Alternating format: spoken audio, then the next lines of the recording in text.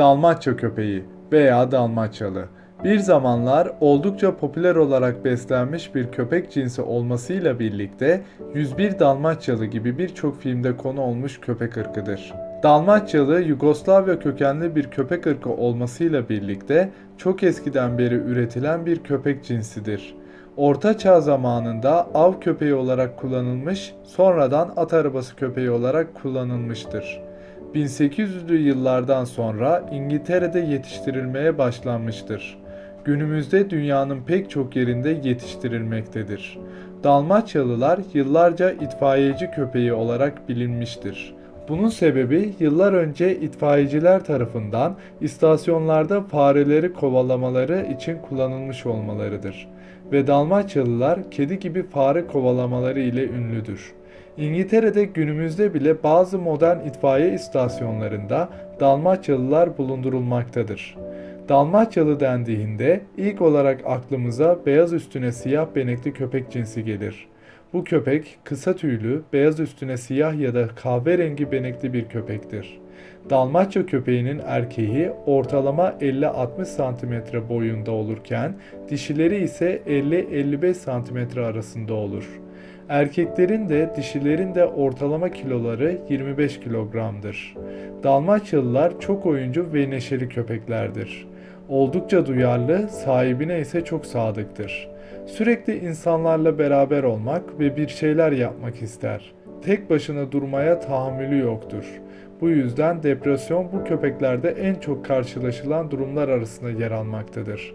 Dalmaçya köpeği evde bakmak için çok uygundur. Bahçede beslenmeye uygun olsa da soğuğa karşı hassas olduğu için kışın içeri alınması gerekir.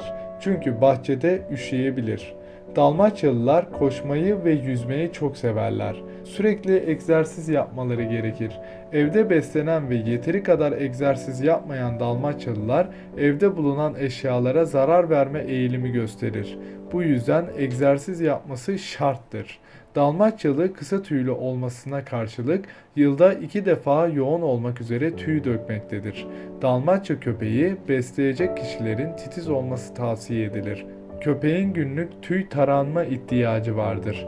Bununla birlikte Dalmaçya köpeği çok gerekmedikçe yıkanmamalıdır ve köpeği yıkamaya gerek yoktur. Çünkü köpeğin kendine özel kokusu yoktur ve kokmaz. Dalmaçyalı'nın güçlü bir hafızası vardır. Kendisine yapılan kötü bir davranışı asla unutmaz. Diğer hayvanlarla arası iyi olsa da diğer köpeklerle arası hiç iyi değildir. Kızdırılmak bu köpekleri rahatsız eder. O nedenle tepkileri sert olabilir. Sosyalleşmek birçok köpek gibi Dalmaçyalı için de önemlidir. Çok zeki ve inatçı olması nedeniyle eğitim konusunda insanların sabırlı olmaları gerekir. Eğitilirken yapılan kötü davranışlar olumsuz sonuçlara neden olabilir.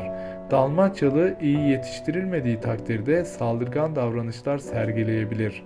Dalmaçyalı köpeklerin koruma ve bekçilik konusunda eğitim almaları mümkündür.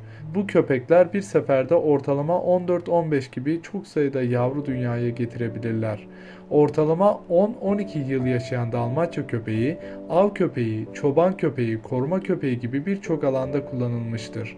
Günümüzde ise av köpeği olarak kullanılmaktadır.